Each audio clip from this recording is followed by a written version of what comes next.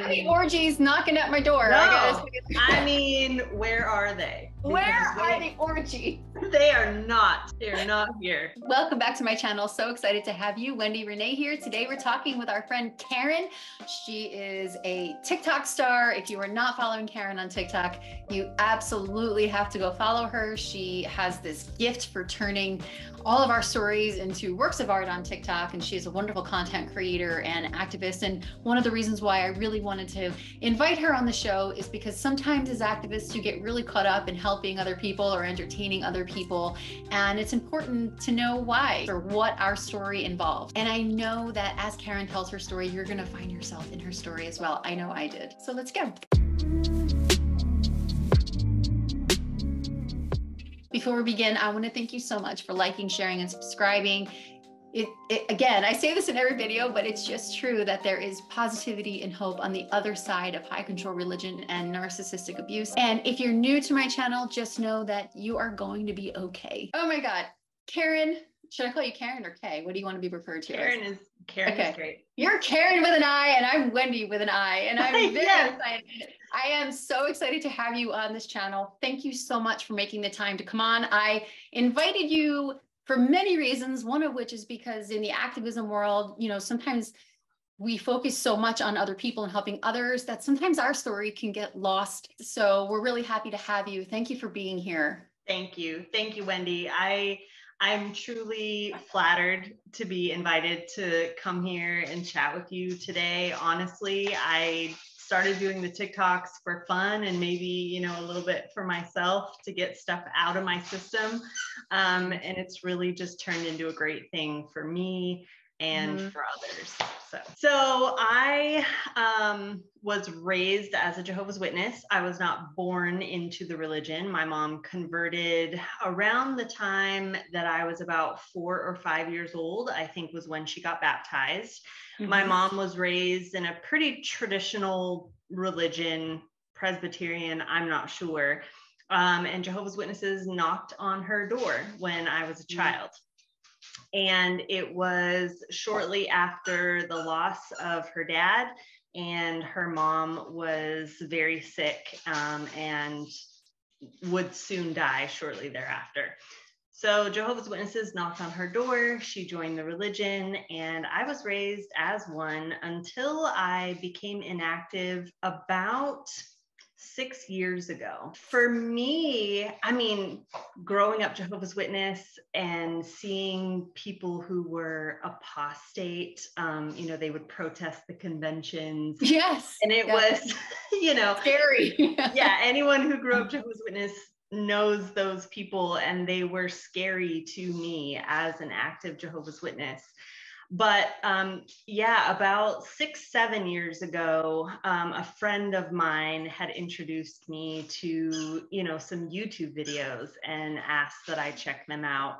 And I was already kind of struggling in my, I guess, participation in Jehovah's Witness activities going out in service, going to meetings, everything was kind of slowing down. And at first, I was incredibly nervous about looking at ex Jehovah's Witness content because of everything you're told not to do. Um, but I, I gave it a shot and it was very interesting to me. And it wasn't this big, scary monster.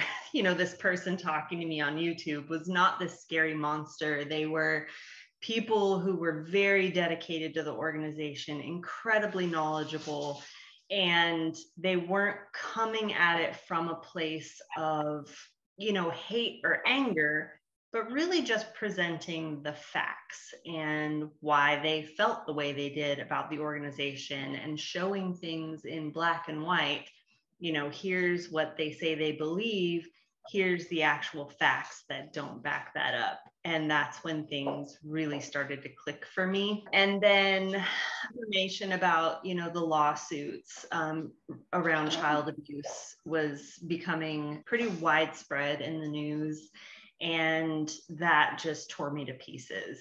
And I, the more I continued to learn and the more things I saw like that, the more I, I really started to reflect on how I felt about the the teachings of the organization and how they really conflicted with who I was as a human being um, was ultimately what just led me right out of it.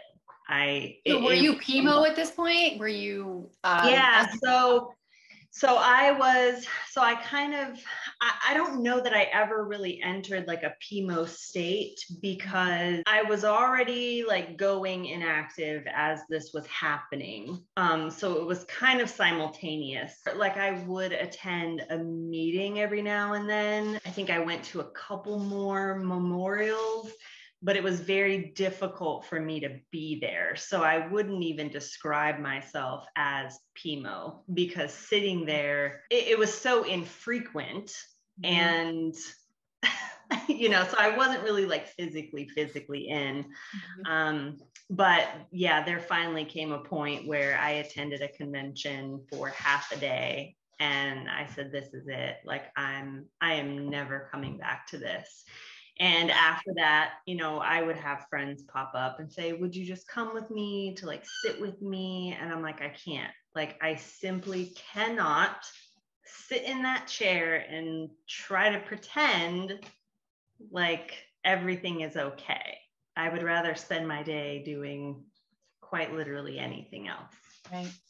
Yeah. And some of your videos on TikTok, you're very open about having been married and in the organization and then going through divorce you also talk a lot about your mom which one of which is one of the reasons i was drawn to you because i feel like we had the exact same story which i'm finding many of us did having that issue. And when you were a jw in the 90s and the 2000s it was pumped into you 24 7 there was it was relentless. Yeah so um, what was that like for you? Were you married young and then did you wake up while you were married? Um, if this is too personal, no, let me know. No, okay. it's good. Yeah. So I was married young. I married at the age of 19, almost 20. I turned a few, uh, I turned 20 a few months after uh, I was married. And uh, yeah, my ex and I were married for almost 15 years. We divorced just shy of our 15th anniversary. And at the time, I don't think I recognized that us going into this divorce had anything to do with my internal conflict in being in the organization. Mm-hmm. But you know, our marriage was good, overall good. But when you get married young, 19, which is a baby. I see 19 year olds and I think, oh my gosh, they're just babies. Right. So, right. Yeah. You know, you marry this person, but then, you know, 15 years go by and you're not, you're not the same person. And there were moments in the marriage that I was unhappy. And I was also a Jehovah's Witness. And so I realized there's nothing like I can't do anything. And it wasn't as though I disliked him. It was just that things weren't things weren't making me happy. Mm-hmm. So yeah, the divorce also simultaneously occurred to, you know, me having these doubts about the religion and going through there was just a lot of turmoil inside me and it was very very difficult and my mom at the time didn't help matters because here I am newly separated. I'm trying to find comfort in my mom because she was at one time my age. She's been divorced. And she would just quote scriptures or tell me, maybe you should think about going back to the meetings maybe you should pray more.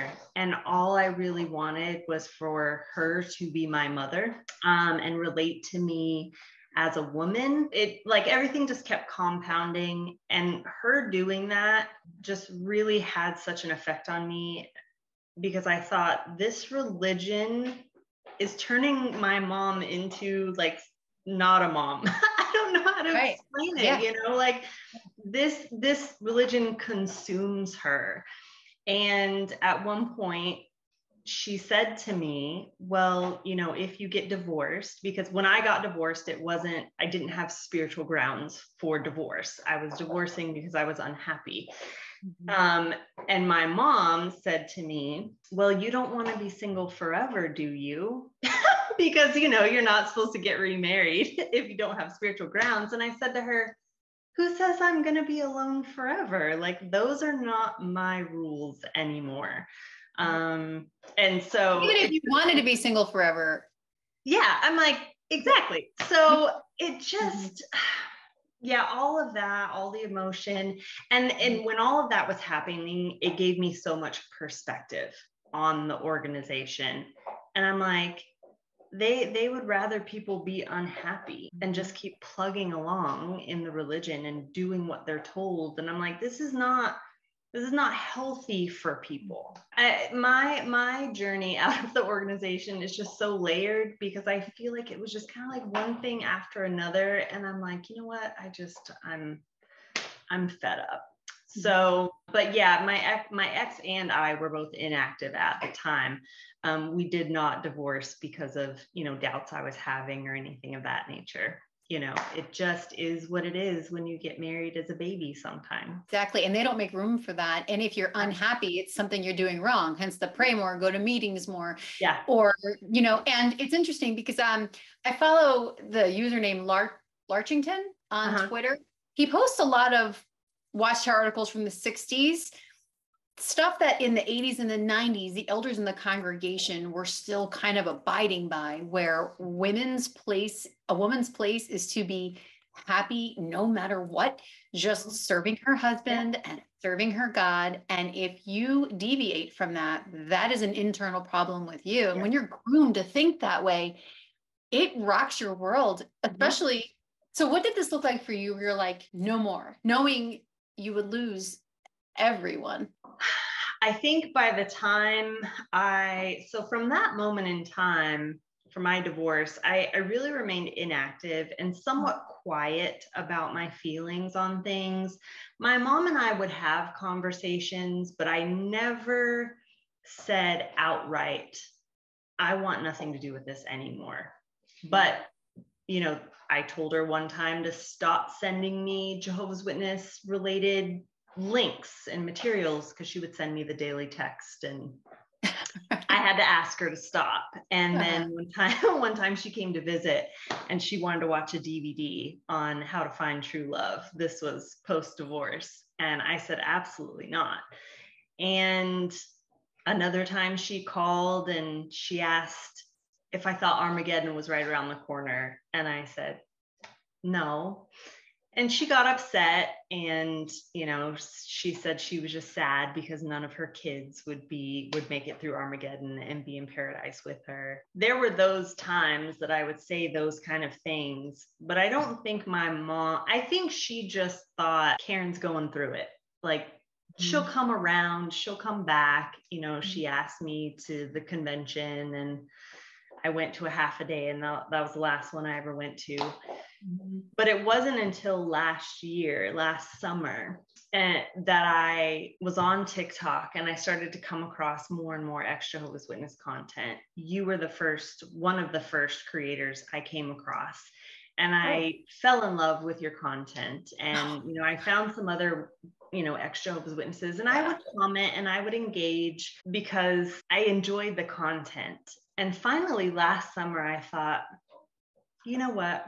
Like, I want to talk about this. Come what may, I know that the risk is my mom will get wind of these and I will immediately be labeled an apostate. Because as soon as you start publicly putting out there your feelings on the organization and where you stand, I mean, mm-hmm. that's kind of the line in the sand. Mm-hmm. Up until that point, I think she had had hope for me and she had kept in contact with me.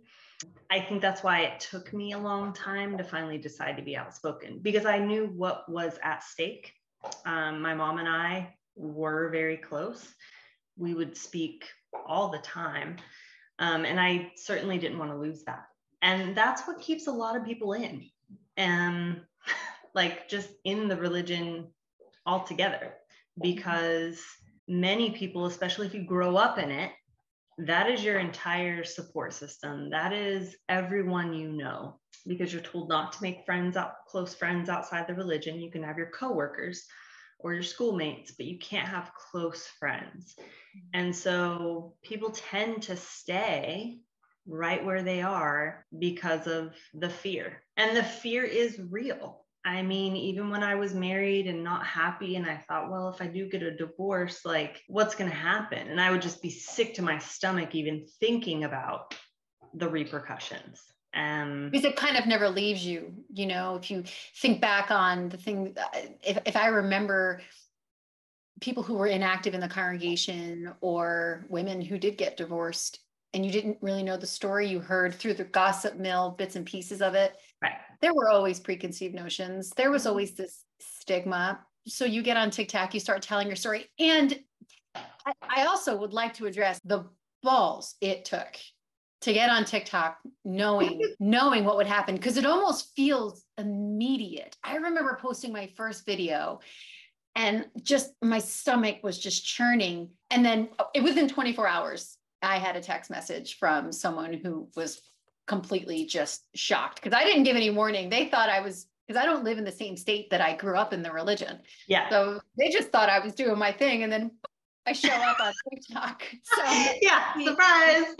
you know, Yeah. and a lot of people who label us as apostates, they have no idea what it takes to find out what we know, try mm-hmm. and go through all the stages of denial, anger, Yeah. this is not happening, this not my beloved religion, not for a second. And then to finally get to that point where you like, no, no, no, I need to talk more about this. So Yeah. can you talk about the bravery and just kind of the feeling it took for you to finally hit that record button and post it? yeah, it was, you know, I was just sitting outside one afternoon and honestly, I mean, I I enjoyed I enjoyed everyone's content that were ex Jehovah's Witnesses and I admired them so much. And there's so many knowledgeable content creators on the app that I just thought, okay, let's do this. And as I was talking through it, I was nervous and I debated posting. I really, really did. And it was just kind of one of those, okay, we're going to do it moments. Yes. Um, you know, and I felt better. Like once I started connecting with people and people saw my videos and commenting and, you know, ultimately became a formal member of the ex Jehovah's Witness community, just the open arms that I was received with made so much, such an impact on me that I, like it soon went away. And, you know, I just kept posting and kept talking. I learn a lot by watching the way that you do this is you seem to have a lot of active JWs commenting on your feeds. One of the things that's amazing about you is that you respond with class understanding and you seek to educate them. And that is, I have to say, one of the most beautiful ways of clapping back. So what made you decide to do that rather than listen, I I could be pretty sarcastic if I want to be. I know that you could put someone in their place. yeah, yeah, yeah, Yeah. definitely. I mean, sometimes my jersey does pop out. Let's not let's not kid anyone, you know. Yeah. But uh, what did you decide to just say? You know what? I could see you need my attention, so I'm going to give it to you. And it's just really great the way that you handle it because if they're PIMO and they're watching your content, there's something there, isn't there? There is, there is. And I mean, the amount of active Jehovah's Witnesses that I see in other people's content and I Yeah. see repeatedly Yes. hmm really makes me wonder because even though they vehemently defend the organization, they keep coming back and back and back. And I think there's something to be said about it. I Mhm. think that they are curious and maybe it's maybe they're experience, experiencing and not saying that they're Mhm. having some cognitive dissonance Mm-hmm. because everything presented to them in my videos, in other people's videos, it's all laid out for them. It's all in print. We're happy to show proof. We're not these lying apostates, as the organization would have people believe. Mhm. So there, there's there's hope. And while they can be a little aggravating because they tr- they troll and I think they try to get us riled up and I think that they want us to be that angry apostate that they've always been told about. And I mm-hmm. figured the best way to combat that is to show them that we're not. I'm a real person. I, am not going to be angry and I'm not going to be mean to you unless you just need to have a snarky comment thrown your way. Mm-hmm. Unless um, you're disrespectful, then yes, absolutely. Yeah, yes, absolutely. So, and you mentioned earlier in the interview, you mentioned that you remember seeing it's in the 90s, like going to these big oh, stadiums. They the apostates were uh, like yeah. sandwich boards. I remember going oh, to a yeah. memorial and right before closing prayer at the memorial, this guy stood up and he's screaming at the top of his lungs right after the memorial. And I, I would say something like that may have set my awakening back even farther. Yeah. So I love that you approach it in that in that way. Like the, the the way that they we are taught that apostates are scary and angry. First of all, there's nothing wrong with anger. Anger has no. its place. Yes. So you know to to to emote on social media is the brand of some creators but for the most part there's nothing wrong with being an angry you just lost everything so right. of course you're going to be yeah. angry but the yeah. way that you go about it is is just it's beautiful it really is thank you thank you and the way you tie in pop culture and the yeah. sounds yeah. it's brilliant so yes. thank you and so after you get on TikTok, did you suffer any ramifications? Were you disfellowshipped or where what's your current situation? So I am not disfellowship, faded when I left the organization and never thought to contact the elders to formally disassociate myself. Mm-hmm. It honestly was just never, in my opinion, worth my time. I didn't feel like I owed them any answers. I was disfellowshipped back when I was 16 and went through a judicial community uh, committee meeting and got reinstated. So I know what that's like. And I thought to myself, is that really something I want to do as a grown adult to go sit in the back room with, you know, three men and explain my position on things or even go so far as to write them a letter? I just didn't didn't feel that I needed to give them any more of my time. Mm-hmm. But since posting TikTok videos, really the only thing that has happened is losing the relationship with my mother. She never came out and said anything to me about the videos, but my gut has always told me that someone shared a video with her that's really just the, the biggest thing that has changed. My mom um, and my stepdad are active in the religion. I have no other family that's in the religion, but because of the religion, I never got to know my extended family. Um, my sister, who now lives a few hours from me, is m- my biggest supporter. We've grown close since my divorce. There's a bit of an age gap. She's 10 years older. So we didn't really grow up. Um, we didn't really grow up together. So I have my sister. She was never a Jehovah's Witness. And so I, I really just am so thankful to have her because, you know, my mom no longer speaks to me. I don't hear from my stepdad.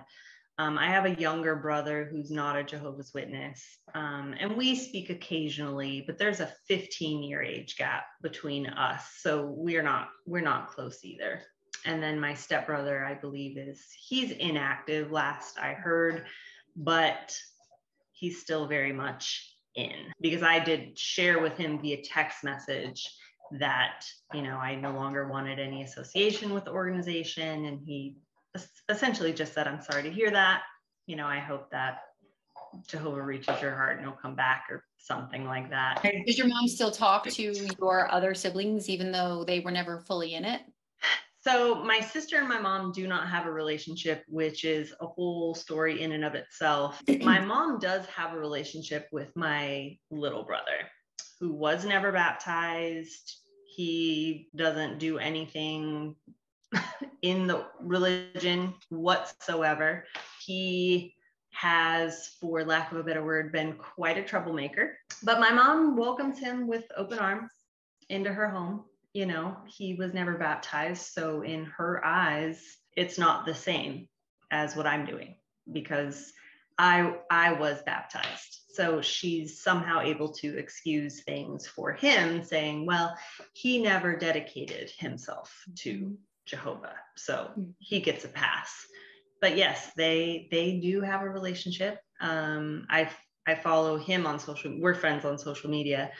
And not long ago, I mean, he was at their house, like he traveled out of state and stayed with them and you know, everything's fine.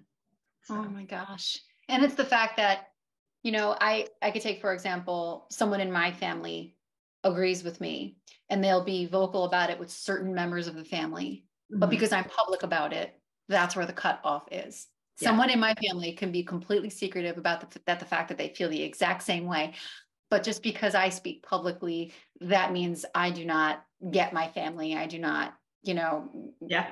get that love. Right. Um, so what does life look like for you now? Now that sadly you have lost that relationship and i'm really sorry to hear that so many people if you're watching this and you can relate to that story karin is spot on when she says that that is the reason why people stay even if they don't believe it because that's what they hold over us is our yeah. family and friends they weaponize them and they villainize us. Yeah. So, what does life look like for you now? What is your outlook? And um, maybe talk a little bit about your healing journey and how you got to this point. Sure. So, I mean, life for me, pretty uneventful. I live a very, a very quiet life. I live a very quiet life.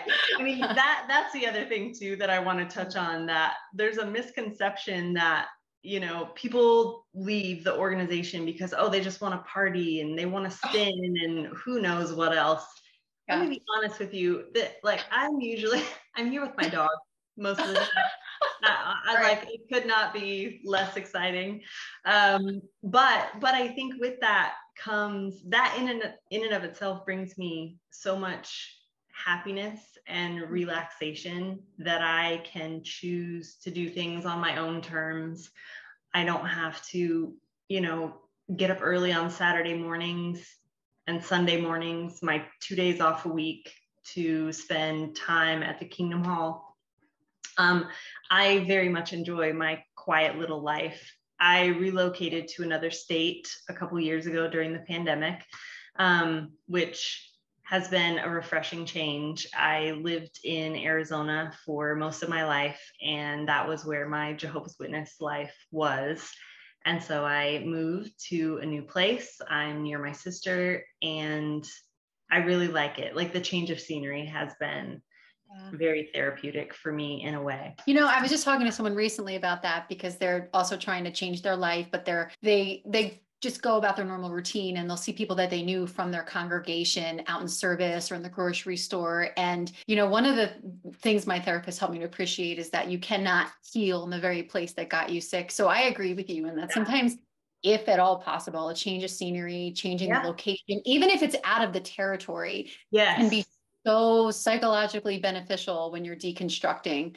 Um, yeah. One of the things I also find interesting about um, what you said is that when it's not in your face, you know, the fact that your whole life was in Arizona and now you're in an entirely different state, mm-hmm. there is so much. Um, I, I, think one of the confusing times is when you aren't part of busy culture anymore. The yeah. fact that you can sleep in on a Saturday and removing yourself from that guilt because yeah. you're first of all the, the world itself right now there's busy culture. And one of the biggest challenges for me and i don't know if you experienced this too was my self-worth was wrapped up in how busy i am because that's where the you're that's where you're rewarded in the organization especially as women.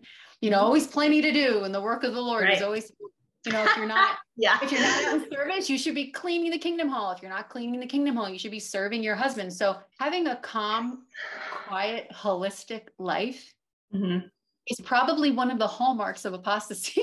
it, I mean, honestly, honestly, yeah, it's yeah. not party central. I mean, no. at least for me personally, but no. yeah. I don't have I any mean, orgies knocking at my door. No, I, I mean, where are they? Because where are the orgies? They're not here. So for all of you people in the audience who are wondering what we're doing with our free time, I mean, I love me some Netflix and some Hulu, and I can I go do. a little crazy, and maybe I'll drink a White Claw or a Truly. That's you know, I get I get a little insane here. I know. I mean, it's wild. It's totally wild. But yeah, I mean, there was I mean, there were times where, you know, not being at meetings, I'm like, well, what do I what do I do with all this time? Like I was just so not used to it. And yeah, there would be times that I would just feel bad about just laying yeah. on the couch all day because I was just, you know, physically and mentally tired from the work week. And I just had to remind myself that it's okay. Like it's yeah. okay to take a break. But when you're a Jehovah's Witness, it's not okay to take a break. Never. I mean, you would make excuses ahead of time when you knew you you weren't going to be in service you know mm-hmm. trying to come mm-hmm. up with oh you know i haven't been feeling good this week when mm-hmm. in reality you're like i just want a day off because i mean you know heaven forbid you not be in service and someone notices and like oh i mm-hmm. didn't see you at right. the service meeting on saturday and then just the guilt that like yeah. guilt you would feel or if you miss morning meeting, my mom did this to us all the time. If you're too sick to go to the morning meeting, you can't do anything. No. Like yeah. you're you cannot don't even answer the phone, don't go to the grocery store. no. Because someone in the congregation sees you and you weren't at the and it was just I gotta stay busy. God, it's like this hamster wheel of business. Yes. Yeah. Hamster wheel. Absolutely. Absolutely. So Karin, someone who was what you were dealing with is undoubtedly in our audience. We have women who are unhappy in their marriages and they're struggling with not having grounds. And there's women who are, you know, just the very thought of starting over again. And yeah. myself included, having gone through that. If, if if Karin five or so years ago, or however long ago, was sitting in our audience, what would you say to her right now? I think I would just want to tell her, like everything's gonna be okay like, Aww. I think that, yeah, I would just tell her, and I might get emotional, but I would tell her like what I wish my mom would have told me when I was like in it. Like, mm. everything's gonna be okay. Like, mm. You, you're stronger than you think. And I think that's what a lot of women who are in the organization need to hear.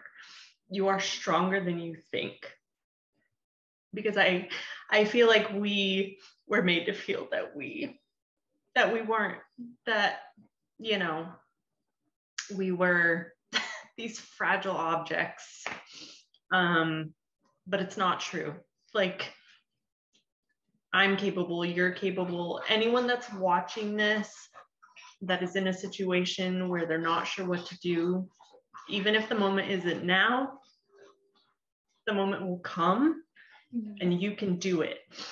And it's going to be hard and it's going to suck sometimes, but everything will be okay. Promise. I